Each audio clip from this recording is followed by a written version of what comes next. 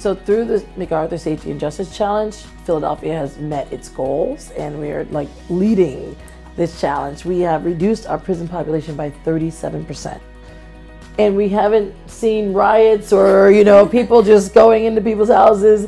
We haven't seen a huge spike in crime because we don't rely on our jails as the um, first opportunity to address someone's issues anymore.